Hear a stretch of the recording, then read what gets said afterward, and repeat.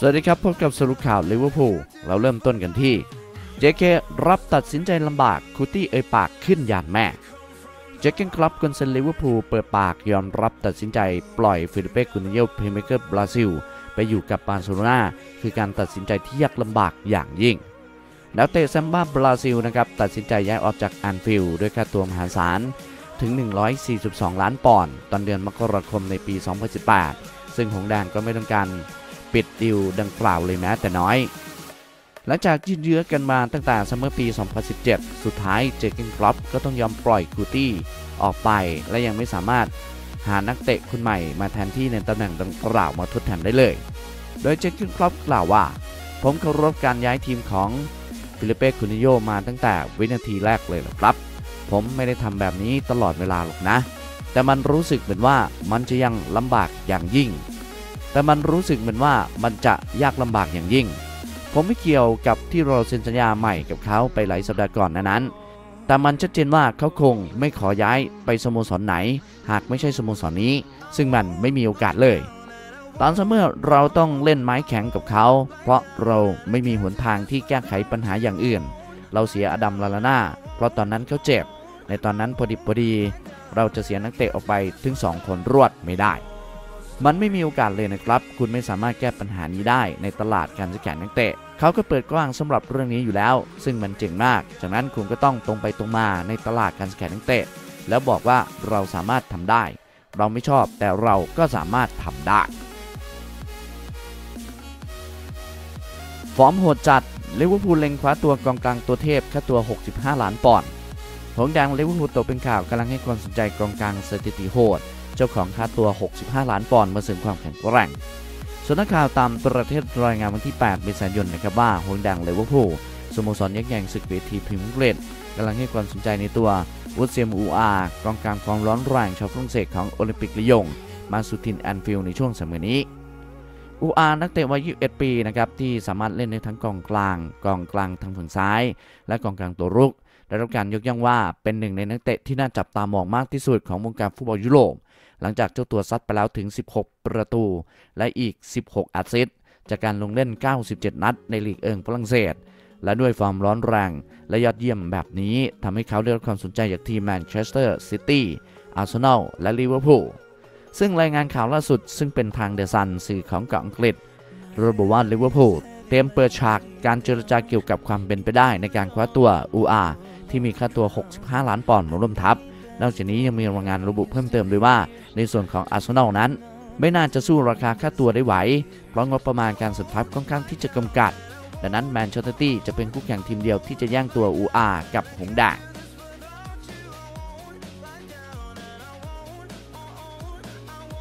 ถึงแม้ว่าช่วงเวลานี้นะครับวงการฟุตบอลจะต้องหยุดชะงักไปเนื่องจากสถานการณ์ของเชื้อไวรัสมรณะโควิด -19 แต่ข่าวลือก็ออกมานะครับว่าตลาดการซื้อขายนักเตะยังคงมีอยู่เรื่อยๆ และล่าสุดก็เป็นสื่อของมาร์ก้าในสเปน ออกมาบอกว่าลิเวอร์พูลกำลังให้ความสนใจในตัวเซนเตอร์แบ็กของเซบียาดิเอโก้คาร์ลอสเจอร์เก้นคล็อปป์ยังคงพยายามที่จะหาคู่หูที่มีความแข็งแกร่ง มายืนคู่กับทางด้านเวอร์จิลฟานไดค์ในแดนหลัง ถึงแม้ว่าเขาจะมีโจโกเมซโจเอลมาติปและเดยันลอฟเรนอยู่ภายในทีมอยู่แล้วก็ตามมีแต่สโมสรใหญ่ๆนะครับที่ให้ความสนใจในตัวนักเตะชาวบราซิเลียนวัย 27 ปี ประกอบไปด้วยเรอัลมาดริดบาร์เซโลนาและแอตมาดริดล้วนแล้วแต่เป็นทีมที่อยู่ในลาลีกาสเปนด้วยกันทั้งสิ้น โดยดิเอโก้คาร์ลอสนะครับเคยให้สัมภาษณ์ไปว่า การย้ายมาอยู่กับเซบียาก็ถือว่าเป็นก้าวย่างสำคัญในชีวิตการแข่งของเขาของสโมสรแห่งนี้ และนี่คือสโมสรที่ยิ่งใหญ่แล้ว ถ้าวันหนึ่งผมต้องย้ายออกไป มันจะเป็นแค่การที่ไปอยู่กับทีมที่ดีที่สุดในโลกเท่านั้นนะครับ หมายถึงถ้าย้ายออกต้องเป็นทีมที่ใหญ่กว่านั่นเองนะฮะ โค้ชลิเวอร์พูลเปิดเผยอาวุธลับโจโกเมซที่ไม่เคยได้ใช้ โค้ชลิเวอร์พูลเผยอาวุธเด็ดของโจโกเมซแต่ไม่เคยได้ใช้งาน เพราะไม่เข้ากับรูปแบบการเล่นของเจอร์เก้นคล็อปป์โทมัสกรอนเนมาร์กนะครับ ซึ่งเป็นสตาฟโค้ชลิเวอร์พูลที่ดูแลเรื่องการทุ่มของนักเตะ เปิดเผยว่าอาวุธลับของโจโกเมซกำลังถึงจุดเกล็ดที่เจอร์เก้นคล็อปป์กุนซือชาวเยอรมัน ไม่ค่อยดึงออกมาใช้ก็คือ เป็นนักเตะที่ทุ่มได้ไกลที่สุดในทัพหงส์แดง โดยทำได้ถึง 37 เมตรเลยทีเดียวกรอนเนมาร์กนะครับซึ่งเป็นเจ้าของสถิติโลกในการทุ่มบอลได้ไกลถึง 51.33 เมตร เปิดเผยผ่านคิกเกอร์สื่อในเยอรมันว่าโจโกเมซทุ่มได้ไกลสุดภายในทีมณตอนนี้ ตอนนี้เขาทำได้ 37 เมตร จากเส้นข้างสนามไปถึงจุดโทษได้อย่างสบายๆ อย่างไรก็ตามนะครับ เวลานี้คนทำหน้าที่ทุ่มได้ดีที่สุดก็คือเทรนต์อเล็กซานเดอร์อาร์โนลด์ กับแอนดี้โรเบิร์ตสันพวกเขาทุ่มได้อย่างแม่นยำมากๆ รวมถึงเข้าใจในพื้นที่และสถานการณ์ แต่ละทีมจะได้ทุ่ม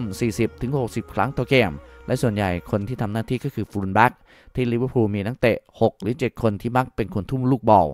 หากต้องทำเร็วๆคนที่อยู่ใกล้สุดจะทำหน้าที่ อย่างไรก็ตามเจอร์เก้นคล็อปป์ไม่ต้องการให้ทุ่มไกล เขาอยากให้ทุ่มไวและฉลาดมากกว่า ที่อาแจ็กซ์อัมสเตอร์ดัมก็เช่นเดียวกัน เราแทบไม่เคยซ้อมแบบนั้น มันต้องตรงกับรูปแบบการเล่นของทีมด้วยโค้ชชาวเดนมาร์กกล่าวตอนนี้กอนเดนมาร์กนะครับเคยทำงานร่วมกับสโมสรเชอร์เกสซีแอตทาเบลิน และ FC มิทิแลนด์โดยช่วยให้ทีมเดนมาร์กเข้าไปเล่นในศึกยูโรปาลีกเมื่อปี 2005 ซึ่งลูกทุ่มไกลมีส่วนสำคัญและความสำเร็จของทีมด้วยนะฮะอดัมพูดถึงการดวลกันของคาร่าและโซเรส ชูเยินเป็นยอดเดาวยิงชาร์ลีอดัมอดีตกองกลางของลิเวอร์พูลพูดถึงการขับเคี่ยวดวลกันระหว่างเจมี่คาร์ราเกอร์กับหลุยส์ซัวเรสในสนามซ้อมหงส์แดง พร้อมกับยกอดีตดาวยิงหมายเลขเจ็ดเป็นกองหน้าที่ดีที่สุด ชาร์ลีอดัมเคยมีประสบการณ์อันยอดเยี่ยมในการลงเล่นร่วมทีมเดียวกันกับทั้งคู่ ผมจำได้ตอนที่ซัวเรสและคาร์ราเกอร์ เตะใส่กันและกัน อดีตแข้งชาวสกอตแลนด์กล่าวกับ BBC มันเป็นการดวลกัน คาร์ราเกอร์ก็ชอบมัน และหลุยส์ซัวเรสก็ชอบมันเช่นเดียวกัน พวกเขาไม่มีใครปล่อยปละละเลยกันเลย มาแบบไหนแต่ไรใส่กันแบบไม่ยั้ง พวกนั้นทั้งคู่ตอบโต้กัน แล้วมันเป็นแบบนั้นทุกวันเขาซัวเรสมีการจบสกอร์ที่น่าทึ่งมาก ตอนที่ผมมาลิเวอร์พูลแรกๆ เขาอาจจะยังมีผิดพลาดก็คือมีโอกาสยิงแต่ก็พลาดไป แต่ในอีก 4-5 ปีต่อมาที่บาร์เซโลนามันยอดเยี่ยมจนน่าเหลือเชื่อ บางทีเขาอาจเป็นหมายเลขเก้าที่ดีที่สุดในโลกในเวลานี้เลย เขาสามารถ แหวกคู่เซนเตอร์ฮาล์ฟได้ด้วยตัวคนเดียว เขาสามารถเอาชนะคุณได้ในการแข่งขันด้วยตัวคนเดียว เหมือนที่สตีเวนเจอร์ราร์ดสามารถทำได้ เขาเป็นปรากฏการณ์เลยแหละครับสำหรับหลุยส์ซัวเรสหงส์เชื่อโดนคู่แข่งแฉ แผนพักงานลูกจ้างลิเวอร์พูลเชื่อว่าถูกคู่แข่งในศึกพรีเมียร์ลีกได้นำข้อมูลรายละเอียดเรื่องการพักงานลูกจ้างออกไปแฉ จนเกิดกระแสโจมตีอย่างหนัก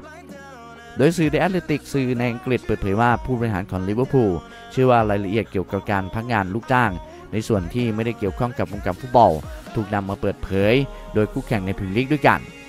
ลิเวอร์พูลได้หารือกับทีมพรีเมียร์ลีกด้วยกัน ถึงแผนการรับมือจากผลกระทบ ในช่วงการแพร่ระบาดของโควิด -19 ซึ่งทางฝั่งหงแดงก็มองว่ารายละเอียดที่พูดคุยกัน โดยเฉพาะเรื่องการพักงานลูกจ้างเป็นการเจรจากันในภายใน